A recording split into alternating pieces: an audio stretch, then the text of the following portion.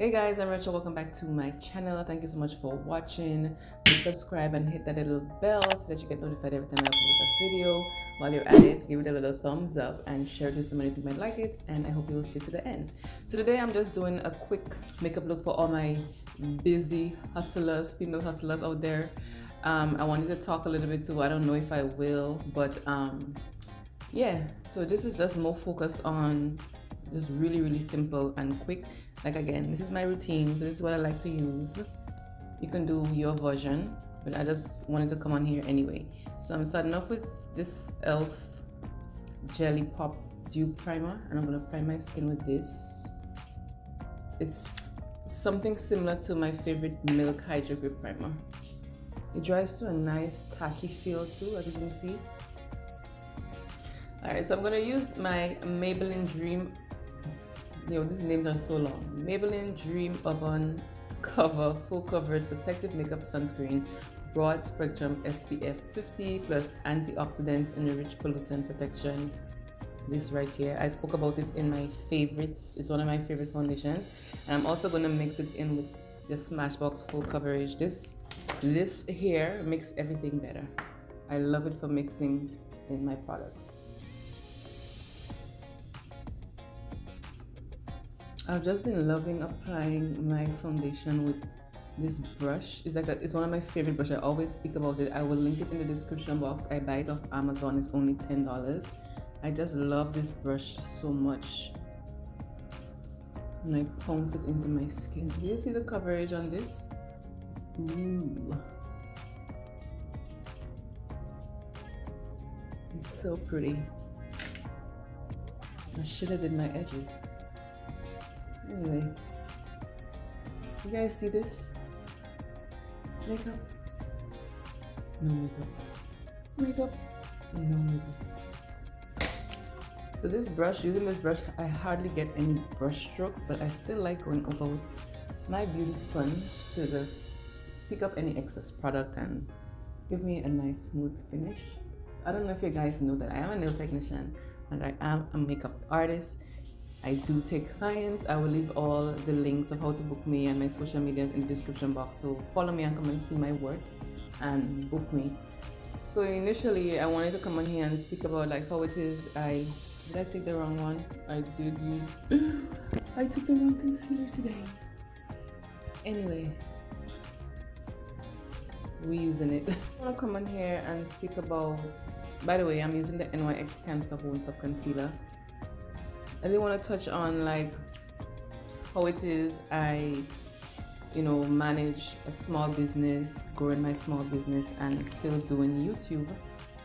And I kind of went against it. I feel like probably much of you guys wouldn't be interested in it, but it's not just about um, for me. It could be for anyone who is running a business and still um, probably you're going to school as well and you have work or you probably just have two jobs this could be um, good for you as well.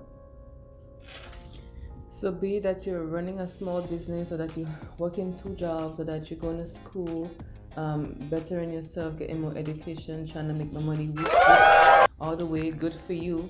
This could be um, good for you as well. Like i just feel like whatever it is you choose to do with your life whatever path you're going that you should just always be realistic with yourself. That's the first thing I feel like. Always be realistic with yourself.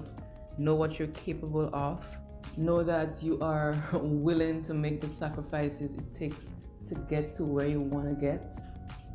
Like for me, I'm managing YouTube and I'm trying to grow a small business and I'm trying to stay consistent. So I have to be realistic with myself.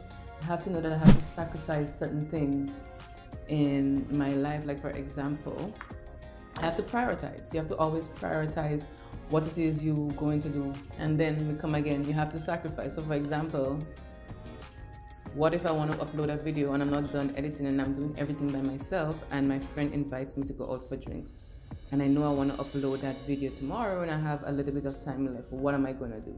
So that's where prioritizing and sacrificing comes in. Am I going to go to drinks with my friend, am I gonna stay home and edit that and that video? If I go to drinks with my friend, do I wake up early in the morning and edit the video, complete the video, or do I, when I come from drinks with my friends, stay up and edit the video, sleep?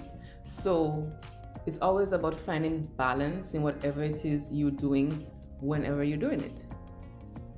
And I just applied the Morphe um, concealer.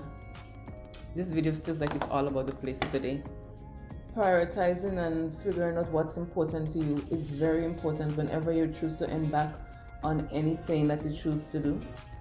And like moving a little bit on the points is like making use of your mornings and your nights. Like, I am not a morning person, so I'm definitely, it's very difficult for me to wake like extremely early. I am more of a night person, so I tend to make use of my nights and I sleep later in the morning. But if you're a morning person, you can wake earlier and get stuff done so that you know you know you go to bed early and it comes back again to being realistic with yourself. Like know your reality know what it is your life entails and how it is you can fit it into whatever side hustle or whatever it is that you choose to do. Smoothie. Um, another thing i feel like works well whenever you're trying to like juggle anything in life is writing down your ideas it youtube or whatever it is you know you have to write stuff down. Feel like something about writing stuff down makes it it's almost like manifest manifestation like putting it into the universe. So it's like it's gonna happen. Not just on your phone. Like i'm a person who writes stuff down in my notebooks. I have a couple notebooks where i write my ideas down i plan everything. So like time management planning scheduling stuff it's it's very important to me feel like having routines also is like important like routines and scheduling time management, writing stuff down, they all sort of go hand in hand. And this year, my whole thing is system over goals. Like everything works together for the better. Taking some of my my um, Sephora Micro Smooth Powder, another product I spoke about in my favorites of 2019. Check that video out if you haven't. I'm gonna add a little contour and I'm using my Black Radiance palette. You guys see how this palette is loved? It is so loved. Another thing is like asking for help when you need it. Like it's good to have reliable friends and people in your life. So whenever you need help, that these people can be there for you and vice versa. It does makes things easier like being able to have good friends and people around you that you can they can help you and they can help they, you can um that they can help you and they can delegate stuff to them to help make the process easier for you so it's always good to have good realistic people around you that whenever it is you need help you can ask for help and know that it's guaranteed like you don't want to like for example i'm doing youtube i don't want to be asking my friend to do something for me because I'm moving back to the point of where I'm organizing and I'm planning, and this friend is not reliable. It's just gonna throw everything off for me. So I need real, re- reliable people around me, people who would encourage you and stay positive and just always be there for you. You need to see, find these people, cipher them out, and keep them close to you. Like this 2020 we have to like learn to work smarter sometimes and try not to work so hard like work smarter. So like just having knowing that you have reliable people around you could make that journey easier for you i'm reaching for my bh cosmetics blush palettes in nude blush i'm gonna grab a couple shades in here to blush blush up the cheeks so if you're someone like me who's doing two jobs, let's say for example you're growing, trying to grow a business, or you're someone who's going to school and working, or you have two jobs. Three things you have to remember, and these are things I, I implement in my life: is batching, bucketing, bridging, and I'll explain what that means.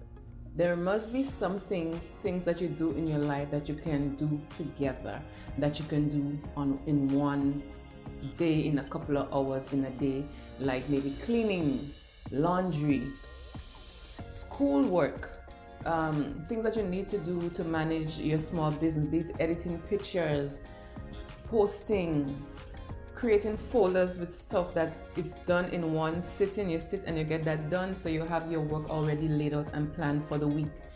You don't want to be doing laundry every day or just sporadically. Like have things that you can do in batches. So if you know um, you're someone who works five days a week or you have a day off or however it is and it goes back to my point of being realistic with yourself you know on those days when you're off other days are you gonna do what you need to get done? So that's what batching is. It's like doing most of what you can do in one sitting one day a couple of hours a day. Like for example if you're on a health kick Maybe on Sundays, you're gonna batch your meal prep and batch your cooking so that you have a couple days ahead and package those and place them in the fridge so that you have it for the week ahead. So you, you, you learn to save time and manage your time better and, and wiser.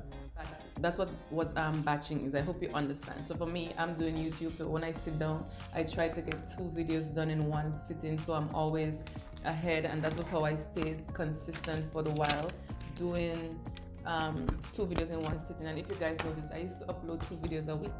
But me being realistic with myself, I'm like, no, I'm not at a point in my life where I feel like I can do two videos a week. I will not be consistent. Now, if there's a time when I could do it, I will, but I cut down to one video a week because I'm pretty sure with that I can be consistent. So I'm being realistic with myself and I'm sitting and I'm able to do two videos in a sit and I'm off on Mondays. So on Mondays is my day when I will sit and do my batching.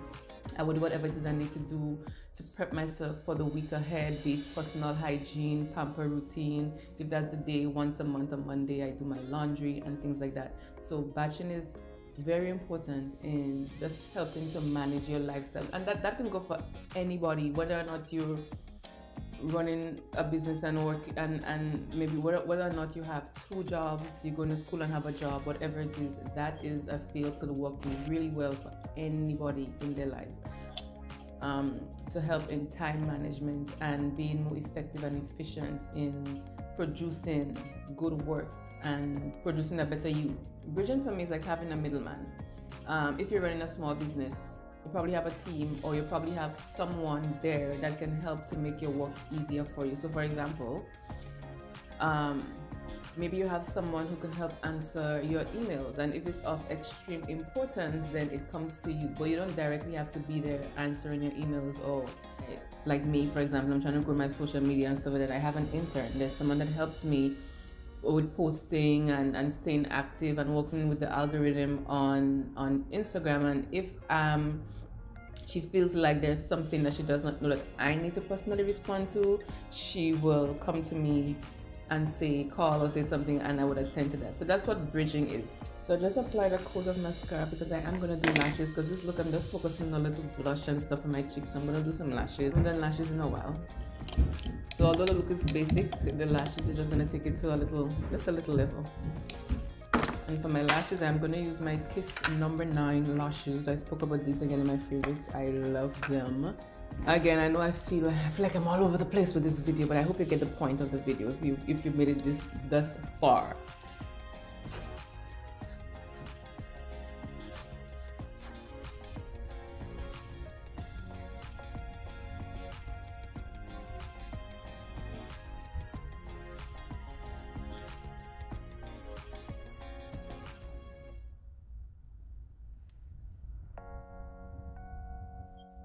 Sped it up a little because I wanted you to see the process. Like, trust me, lashes are not the easiest thing to do. So, if you're someone who's struggling with lashes, just keep at it and you're gonna get it. I feel like that's one of the complaints I hear the most. Like, you don't know how to get your lashes to stay, but you just saw what I went through. See, the lashes just brought something to the look, although it's very basic. It's just like, mm. so that's I, I like lashes sometimes. Like for times like these, they just like I said, take your look to another level. Just adding a little nose highlight. This just makes your nose look extremely straight. As you can see, made me look like I had a nose job. And that's a little bit in the inner corner as well. I'm using the Wet n Wild highlight powder in Golden Flower Crown right here. This is my a, a new addition to my collection. It's not my favorite, but it's okay. I feel like I have better highlighters, but it's okay. It gets the job done. So So yes, I definitely just wanted to just come here and just probably just throw that out there and I oh my god. I know you know it's it's difficult to do a lot of stuff and to stay consistent and to stay like motivated, but we just gotta keep at it. I hope this video would have helped someone out there. And of course, it's always good to increase your knowledge like I'm like I said, I'm listening to audibles. I do a lot of research on anything. I listen to other people's testimonials. I I try to learn from other people as well. So I just lined my lip with MAC Plum lip liner. Do you see this? This is to be one of my favorite lip liners of all time. I just it was just replaced with um, ColourPop, but I still love it. So I thought I'll bust it out today. And I'm using my BH Cosmetics and it's my Ray Ray lipstick, liquid lipstick in oh my god Rosy Ray. I'm gonna add a little bit of this on my lips. Mm, so pretty. And I'm gonna just go over with a little bit of my Patrick Ta lip gloss in. You, okay, now let's let's let's just have a moment. Do you see this? Oh my. Mm -mm. Do you see this? Oh my god, this is so satisfying. This lip gloss is the bomb. Jeez. Patrick Ta, is she younger than me? I love it. It's such a beautiful gloss. Do you see the shine on my lips? Ah. Like I said, I feel like we all need balance with whatever it is we're doing in life. Like balance is like so important. And as I'm getting older, I'm realizing how much you need to add balance to your life. So I hope this video was uh, informative. Like probably you learned something from it. Maybe you found something you can implement in the way you're doing stuff and to just remember to just always stay positive stay motivated and let's help to motivate each other in our future endeavors. And as women we already have so much against us. Let's just try to just uplift each other here and spread love and positivity. Comment in the description box if you have any motivation or if you agree with some of what I say or if you already do some of what I say, what I what I spoke about here on my channel. So thank you so so much for watching. Don't forget to subscribe, give this video a thumbs up, share it with someone you think might like it. All the links to my social media will be in the description box and how to book me. I am a nail tech and a makeup artist. So check out my work and I'll see you in my next video next week. Bye guys.